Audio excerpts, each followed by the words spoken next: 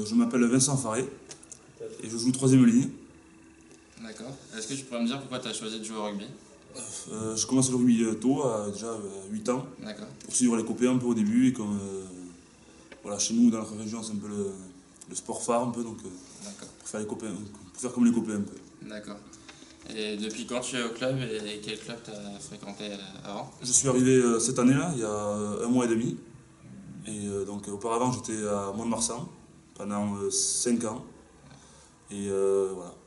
Est-ce que tu as une expérience dans le rugby qui t'a marqué depuis, euh, depuis que tu as commencé ta carrière? Enfin, si je dois retenir un moment, c'est le, mon premier match euh, enfin, euh, en pro euh, contre le Stade Toulousain, en top 14, qui restera un des meilleurs souvenirs de ma carrière, enfin, de, ma, de ma carrière.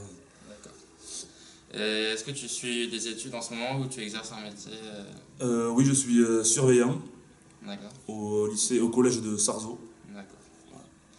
Et est-ce que tu as un autre poste auquel tu voudrais jouer si tu si avais l'occasion? Euh, pff, euh, enfin, non, euh, je peux jouer seconde ligne s'il faut, ou euh, ouais, seconde ligne oui, pour dépanner s'il faut.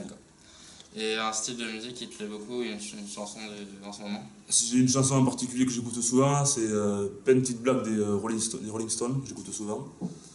Sinon, euh, voilà, enfin, style musical, non, j'écoute le tout, j'ai pas de, style en particulier. Et est-ce que tu as un film euh, que- qui t'a marqué dernièrement ou que tu as vu au cinéma ou- C'est un film ouais, que je regarde souvent, que j'ai vu des dizaines, dizaines de fois, je pense, même plus. Euh, Boulevard, c'est un film euh, qui me plaît beaucoup. Et, D'accord. Et un pronostic pour le club euh, à la fin du championnat? Et déjà, la qualif, c'est sûr, je pense, et au moins arriver en quart de finale. Moi, je, je vois bien arriver en quart de finale. Et plus si affinité, si, euh,